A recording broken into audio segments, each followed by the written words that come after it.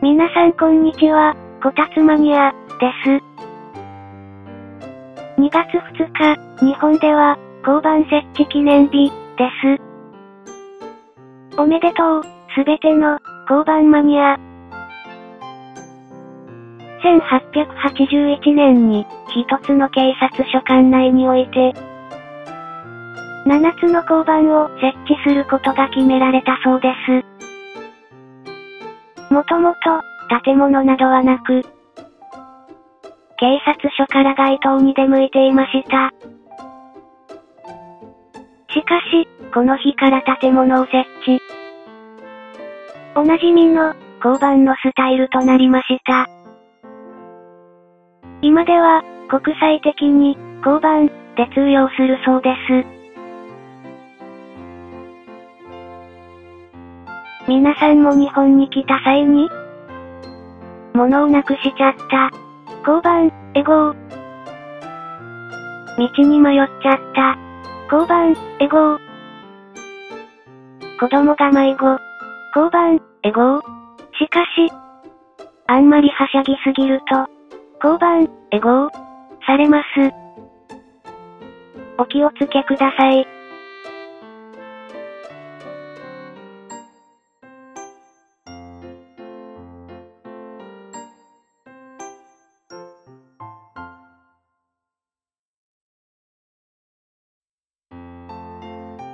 そんな、交番、を、ノマドスカルプトでコネコネ。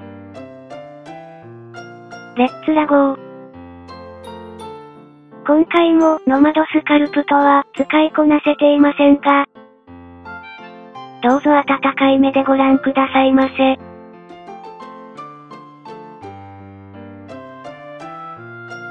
日本に6200以上存在する、交番。素早く事件現場に駆けつけることはもちろん、犯罪の抑止力にも貢献しているそうです。危険な事件もあるでしょうに。警官の皆さんには頭が下がります。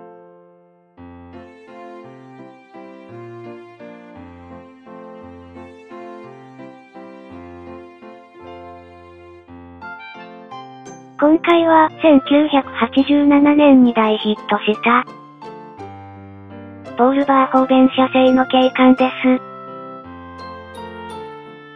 今の日本より、ほんの少し危険な街、デトロイトが舞台。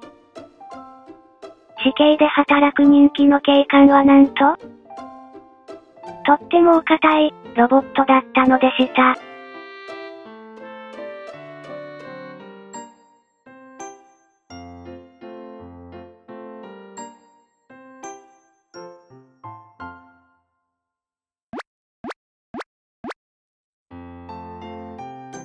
この世界一有名な、ロボット警官は、ドラマシリーズやグッズも大変人気で、遠く離れたここ日本でも、多くの、マニアが存在します。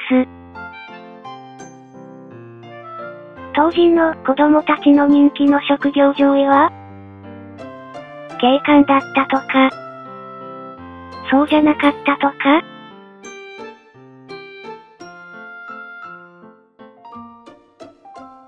どんなに危険な現場であろうと、その体を活かし、飛び込んでいっちゃう彼ですが、もともとは優秀な生身の警官だったのです。ロボット開発会社の思惑により、彼は現場で重傷を負ってしまいます。研究室で目覚めた彼が手にしたものは、とびきり、丈夫な警官の体。とびきり、有名なヒーローの称号。そして、とびきり、残酷な運命です。犯罪組織を追い詰めていく中、消されたはずの記憶を取り戻していくのでした。どうしてこんな姿に、家族は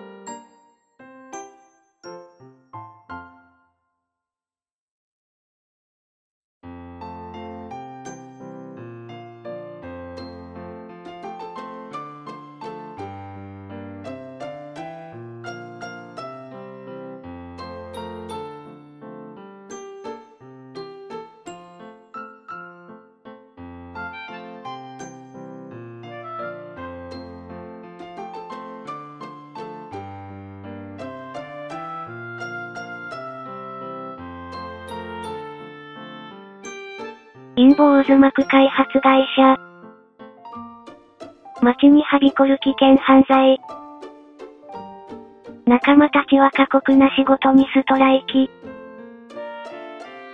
とってもリアルな世界観の中何かと忙しい彼ですが、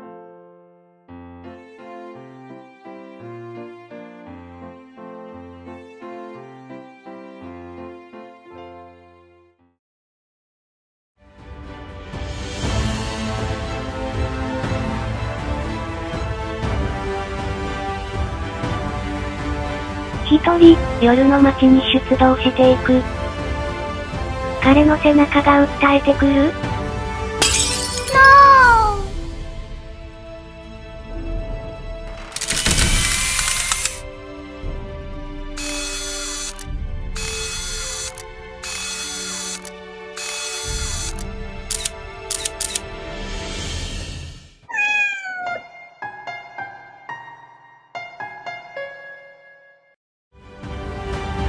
あんまり優秀な人間も、考え物だよ。って。お粗末様でした。